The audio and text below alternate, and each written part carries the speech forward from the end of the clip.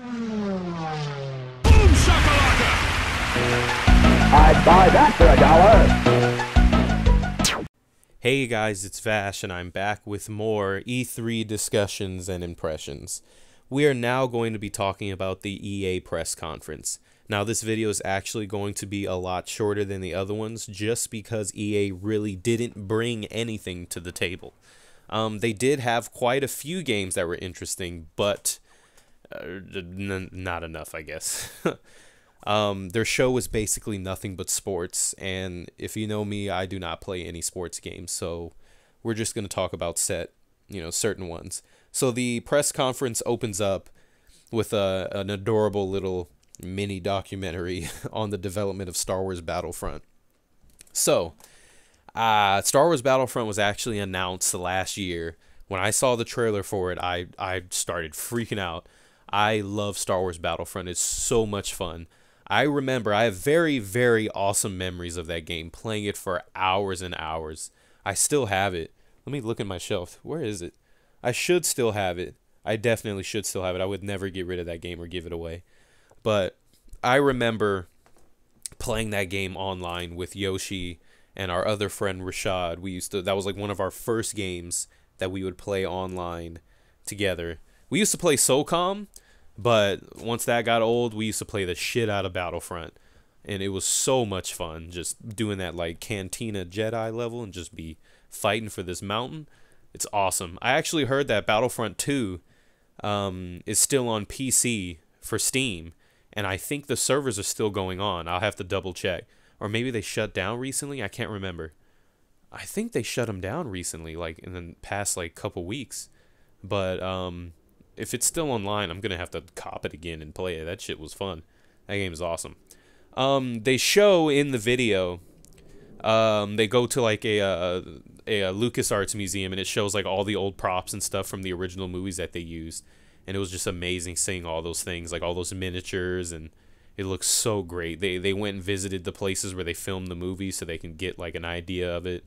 And I just the only thing I didn't like about the whole that trailer is that they they didn't show us shit. They just showed that they're working on the game and they're trying to tenderly embrace it and make sure that they do a good job because Star Wars is one of those franchises that people are extremely touchy about. And if one thing is out of order or off, people go fucking ham. And I totally understand how they're trying to take their time with this game and make sure everything is perfect. So, Star Wars Battlefront, can't wait, super excited. Next game they were talking about is The Sims 4. Now, I love The Sims. I know that sounds kind of fruity, but I, I love The Sims. I absolutely adore The Sims. Um, I haven't played much of The Sims 3 because it was a little. Uh, there was some, some there were certain things that I couldn't figure out because I didn't have a manual because I bought it off Steam, and I love having a manual. But I remember spending very very long, long nights playing The Sims all night, losing a lot of sleep, having to get up and go to school the next day get like two and a half hours of sleep because I had a uh, I had a family called the the Ferdinand family, and that was like the first family that I actually it was, that took so fucking long to make that family. It was like I had okay, so I had a family, and then they had a kid, and I had another family that had a kid, and then I had to play each family individually to make sure the kid grew up on both sides. Then I had them meet, had them get married, have kids, and then my fucking save data got corrupted, and I hated my life for the rest. Just I was so mad because I literally put easily like two or three hundred hours into The Sims. This was Sims two, by the way. Sims one, I played the shit out of also. Um, I, I played a lot of it. I didn't have a computer that could really run it, so I would play it at my at my cousin's house all the time. Um, I used to I used to play The Sims busting out on PS2 nonstop. I love The Sims. Sims 3 I didn't play that much, but I, I didn't put nowhere near as much time as I did in 1, 2 and busting out. But I did play it quite a lot. I I remember Brain used to play the shit out of Sims Sims 3.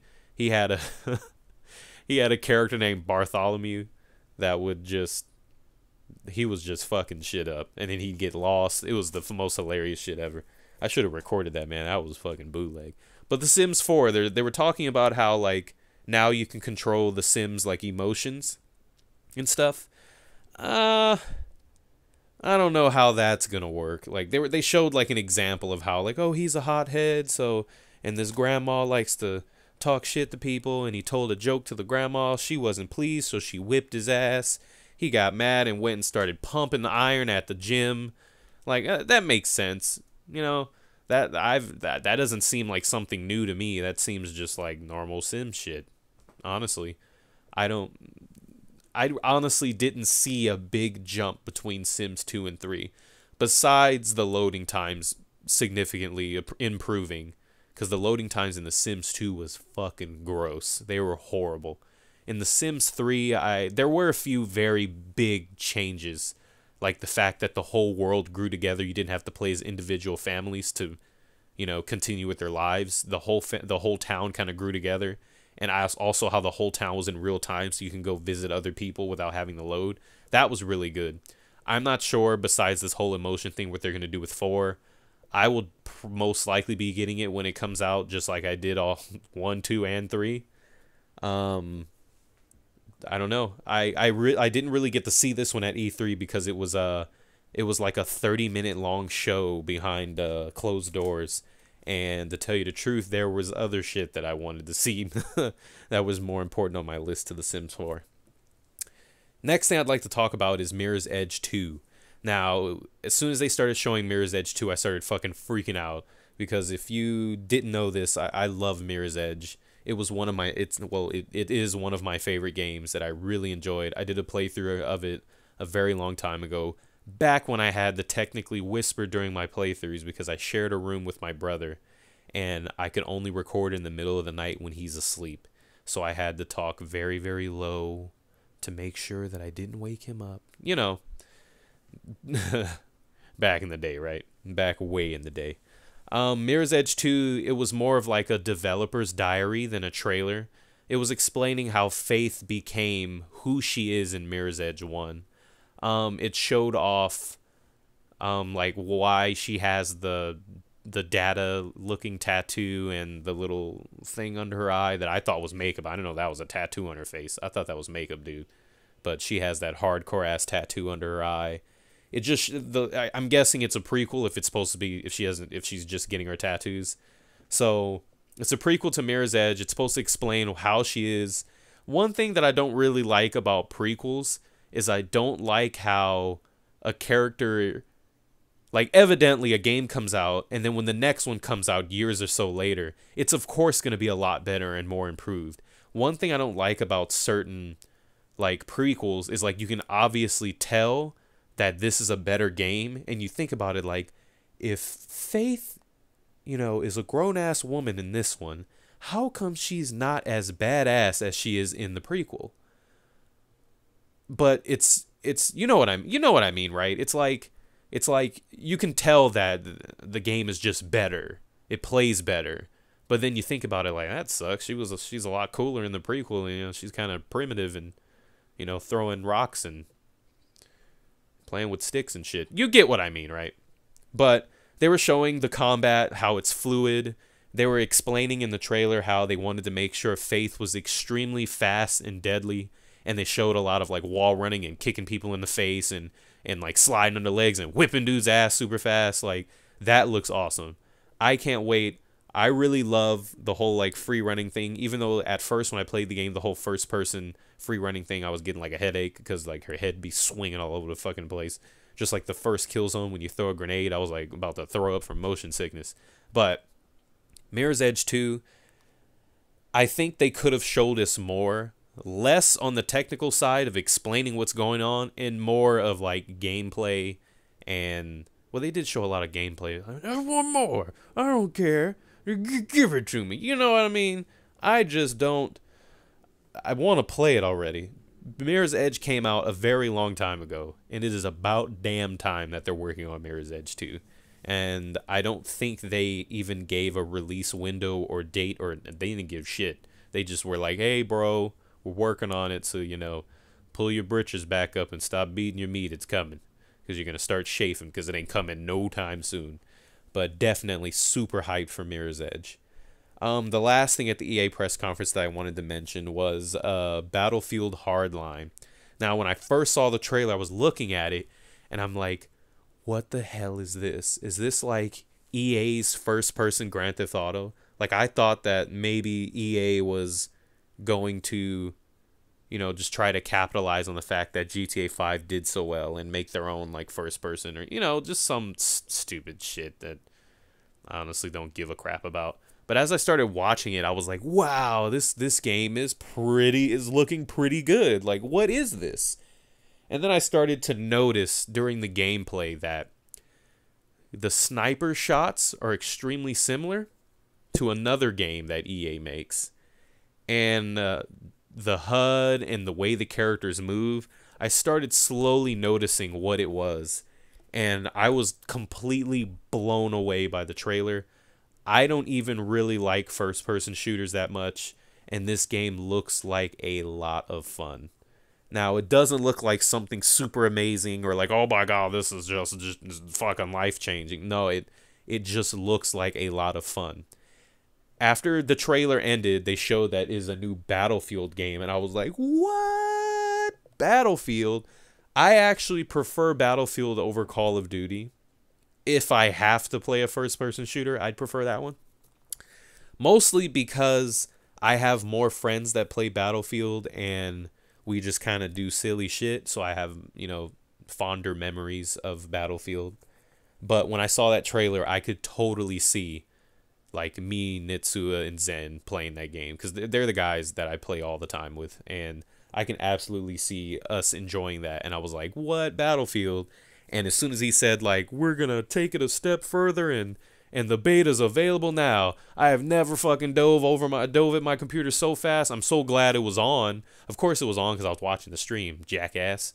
But I I opened up a new tab and went signed up for that bitch. Woo wee! And I haven't played it yet either. That was like a week ago. Damn. It's because I've been too busy. I'm I'm slipping. I hope it doesn't end anytime soon because I haven't gotten a chance to play it yet.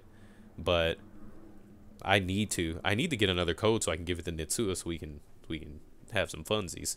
But that was about it. At EA's press conference, they then started talking about uh, fucking FIFA, like anyone cares. I'm sure a lot of people do care. I don't. I'm sorry. That's insulting. Whatever. I don't care. Um, they talked about Madden. Don't fucking care. They talked about hockey. Who gives a shit? I didn't even know hockey still existed. Well, yes, I, I did. I'm kidding. I just don't watch it. They talked about UFC. They had Bruce Lee. That looked pretty good. Just because I like to whip people's ass. Now, once UFC goes down in price, I will be picking that up definitely. But as of right now, there's other shit that my money needs to be saved for this month. Because I think Sniper Elite V3 comes out at the end of this month. So, and the Lego movie came out today. Sorry, UFC, but everything is awesome. Not you, though. Um, they they started going on about their sports. I, I honestly went and like used the bathroom and didn't even look at it. I did watch the UFC presentation. That was probably the only thing I paid attention to. But then you know EA jumps into their whole sports shit, and I don't care. I think they did talk about Mass Effect. Huh. I think they did. I rewatched EA's press conference, but I kind of skimmed it. I might have missed it. I think they did mention a Mass Effect game something or was that another was that another thing I saw? I do remember that someone mentioning something about Mass Effect or something similar to Mass Effect. Or or I think there was a Dragon Age trailer. I, I don't know. Uh, if you guys know, please let me know in, in I was about I keep saying in the description. you guys don't read that.